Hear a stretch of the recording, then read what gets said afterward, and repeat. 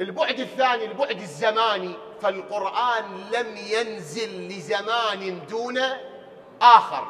وإنما نزل القرآن ليحكم الناس إلى يوم القيامة. تقول لي القرآن قابل أن يواكب هذا التقدم والتطور مال الزمن وهو نازل قبل 1400 سنة أو أكثر؟ الجواب نعم القرآن قادر.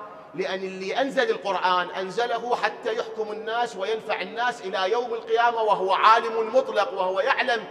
الكرة الأرضية وين راح توصل؟ تقدم البشر تطور البشر راح يوصل وهو نزل لهم هذا الكتاب اللي ما بعد كتاب إلى يوم القيامة.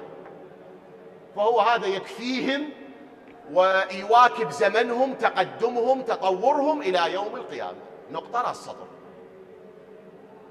ولهذا تشوفون هو القرآن يقول عن القرآن ومن بلغ. الآن إذا أكو بنقالاتكم بحث قرآني ابحثوا عن الآية لأنذركم به ومن بلغ. النبي يعني الله يتكلم عن لسان نبينا. يقول لهم أنتم اللي في زمني. أنذركم بالقرآن بس أنتم يو. أكو شيء آخر أكو شيء آخر. شنو هو؟ ومن بلغ. يا هو لي بلغ القرآن. إلى يوم القيامة أنذره بالقرآن.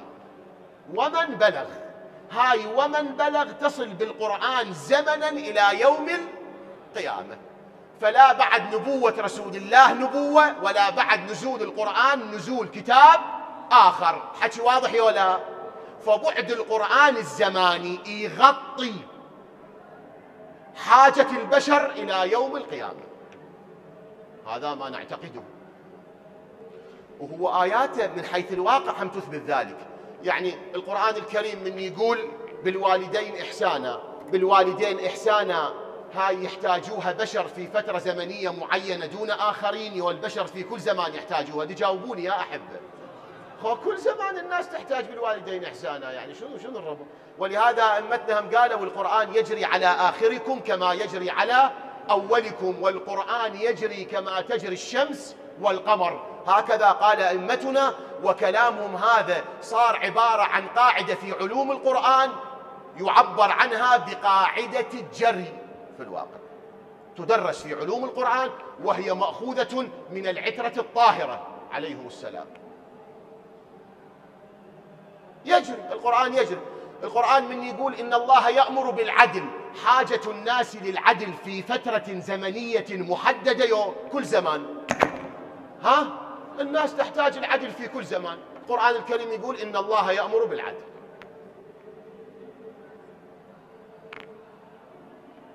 شنو يعني؟